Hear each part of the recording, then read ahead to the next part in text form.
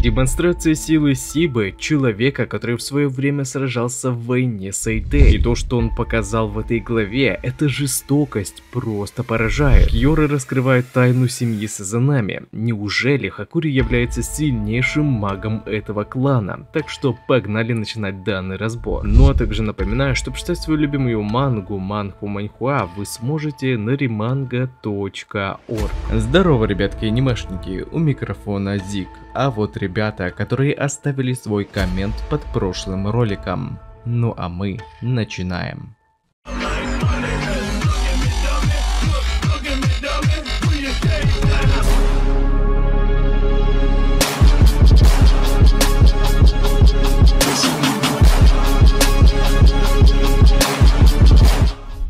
Прошлой главе Тихира, используя технику Шред, расщепления катана, рассекающего облака, смог прорваться сквозь плотную древесную преграду главы Хисяку, тем самым сумев оторваться от противника, который в свою очередь настигла обладательница огненной кости, насмешливо заявив «Тебя что, бросили? Ну, хочешь, я тебя утешу». Этот момент настолько мемный и крутой, что мне аж обидно стало, что нам не покажут дальнейшее развитие их противостояния. Ведь антагонист уже достиг того, чего хотел, своим появлением раздув пламя ненависти в главном герое, а остальную работу он оставляет на клан Сазанами, задача которых является защищать аукцион Ракудзачи, по итогу покинув это место с помощью пламени Хисяку. Жаль, конечно, что нам так и не дали хоть малейшую затравочку о магии противника, так что пока личность и сила, возможно, главного антагониста Кагурабачи все еще останется в тайне, но этот персонаж своими действиями еще сыграет в Ракудзаичи, о чем мы узнаем уже в этой главе. Также хочу хочу ответить на один из комментариев под видосом прошлой главы, по типу того, что нам уже показали магические способности главы Хисяку, а я говорю, что до сих пор не продемонстрировали. Просто прикол в том, что первый Хисяку, которого мы увидели, показал точно такие же магические способности, что с древом, что с огненной телепортацией. И как я думаю, это могут скорее всего все в этой организации черных магов, так что это никак не может быть личным магическим атрибутом. Только главарь Хисяку заговорил о задаче клана Сазанами перед своим уходом, как Хиюки тут же явились маги этого клана. И они были готовы ликвидировать любого, кто намеревался помешать проведению Ракудзаича, даже если этот кто-то был человеком из правительства, как она. Кагари же была несколько расстроена, что новые противники не были тем самым элитным отрядом То, но по их виду она предположила, что они явно были не слабой ветви рода Сазанами, так что бой скорее всего для Хиюки будет не такой скучный, как с предыдущими статистами. Также эта глава более подробно раскрывает прошлое семьи Сазанами. Оказывается, Хакори был не единственным младшим ребенком Кьоры. Один из его братьев из отряда Тоу, Тенри, вероятно, был его ровесником. Их обоих отец воспитывал как особенных, ведь будучи членами рода Сазанами, их ожидало великое будущее. Им было суждено управлять страстью и ценностью людей, пришедших на Ракудзаичи. Кьора возлагал большие надежды на Хакури и Тенри, что они смогут добиться места в элитном отряде Тоу, продолжив многолетнюю древнюю традицию клана Сазанами, а именно защиты проведения Ракудзаичи, уничтожая всех, кто пытался помешать проведению аукциона, который никто и никак не смог сорвать уже многие годы, поскольку только они достойны находиться на этой сцене, ведь они особенные и только Сазанами достойны стоять на вершине. После чего, указав нам особенности могущественности элитного отряда Тоу, мы видим, как всех оставшихся членов отряда полностью одолели, и разгромил их один маг, одержав безоговорочную победу даже над Тенри, сильнейшим из этого отряда. Так что тот фрейм, где он буквально жжет убеждение сына Кьоры о том, что он особенный, выглядит как полное уничтожение факта их несокрушимости. К тому же почти все эти разрушения устроил именно Сиба, что можно увидеть по траектории и последствиям удара, нанесенному одному из магов Тоу. Так мало того, что результат битвы с ним уже выглядит шокирующим и устрашающим, так и еще для того, чтобы получить информацию по поводу как открыть дверь в Нагину Джо Эн, Сиба, как всегда, не прочь проявить жестокость и через боль выдавить из противника желаемое. Говорят Эндри, что если он не скажет, как открыть эту дверь, тогда его глаза станут для него пепельницей, об которые он потушит свою сигарету. И эта жестокость даже бросает в дрожь. Вот на что способен человек, прошедший войну с Эйтей. А ведь Тенри такой же юноша, как и Хакури. Пока, конечно, неизвестно, были ли эти двое совершеннолетними, но, как видим, даже это не останавливает Сибу, когда дело очень серьезной. Однако Тенри не выдавал тайны своего клана даже в такой ситуации. И вспоминая прошлое, нам раскрывается истинная причина, почему и как в таком юном возрасте он смог стать сильнейшим в отряде Тоу. И все дело было в том, что Какури вовсе не проявлял желания попасть в Тоу, да и магию он толком не мог использовать. А из-за возложенного на них долга защиты уставов семьи, Тенри тренировался за двоих и достиг того уровня, когда он в одиночку смог разгромить отступившую фракцию клана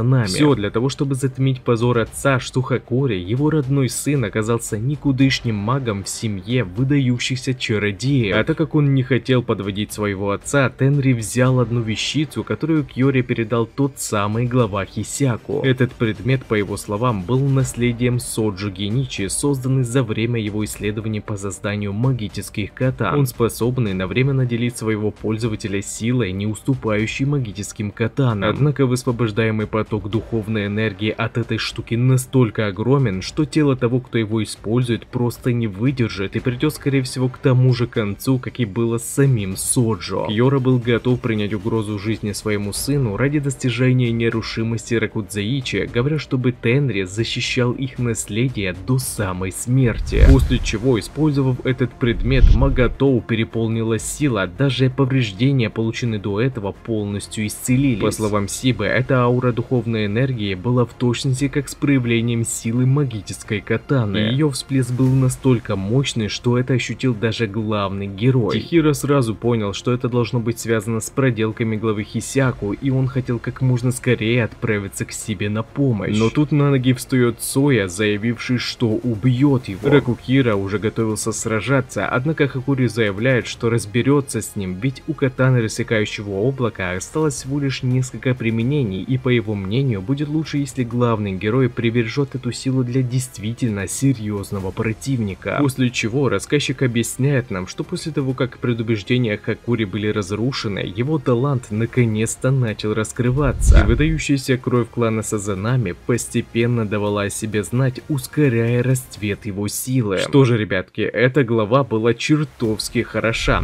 Нас ожидают два очень крутых сражения. Первое, это бой Сибы с действительно сильнейшим магом отряда Тоу, который, скорее всего, наконец-то покажут, а не так, чтобы он был где-то за кадром. И второй, это бой Хакури, сила которого, вероятно, будет на уровне Стэнри против старшего брата Сои. Что же, будем тогда с нетерпением ожидать следующую главу как в Рабаче. И также не забывайте, что прочитать свою любимую мангу и не только вы сможете на remanga.org.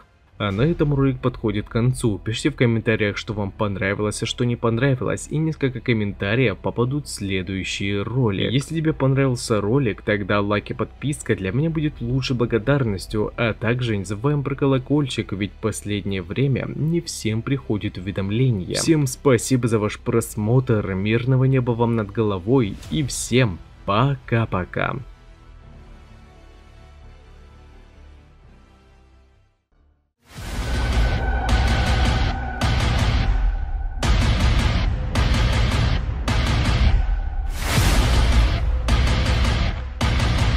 Tiraram suas seis espadas mágicas. Mas não conheciam a sétima. Vou matar cada mago negro e recuperar as espadas do meu pai. Tentem.